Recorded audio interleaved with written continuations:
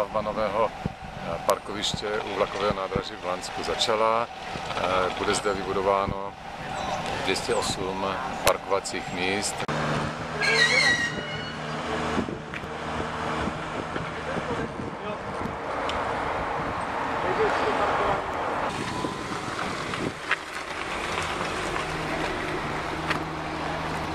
Ta akce by měla končit koncem září.